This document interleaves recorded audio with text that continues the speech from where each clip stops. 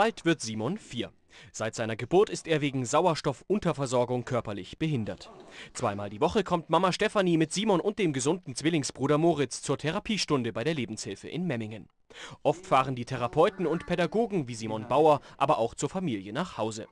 Die Lebenshilfe bietet seit 1976 Frühförderung an für Säuglinge, Kleinkinder und Kindergartenkinder.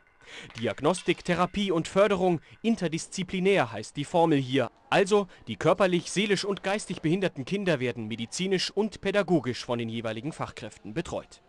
Und diese Therapeuten und Pädagogen, die arbeiten zusammen und entwickeln individuelle Konzepte für das jeweilige Kind.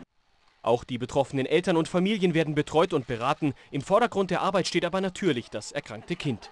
Die Frühförderung vor der Einschulung ist enorm wertvoll. Also je früher, desto besser.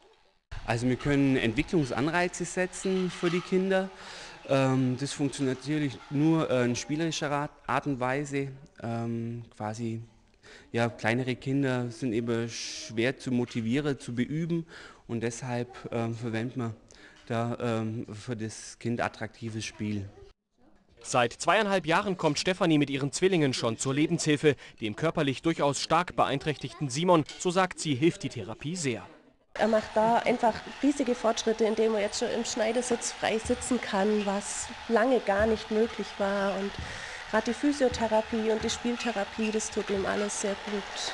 Also ich mag daheim, er wird einfach selbstständiger und das klappt alles gut. Die Frühförderung der Lebenshilfe Memmingen hat sich in den letzten 30 Jahren entwickelt. Jetzt gibt es seit Dezember 2009 auch ein neues Zuhause sozusagen. Die Förderstelle hat jetzt endlich komplett neue, moderne Räumlichkeiten. Knapp 400 Quadratmeter speziell ausgebaut für die Therapie und für die Kinder.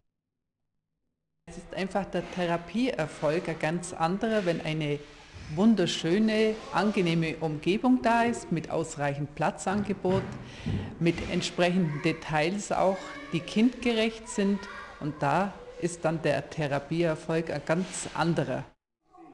Bezahlt wird die Frühförderung von der Krankenkasse und dem Bezirk Schwaben. Sie ist für die Eltern also kostenlos. Gott sei Dank könnte man sagen, sollte doch jedes Kind hier die Hilfe bekommen, die es braucht.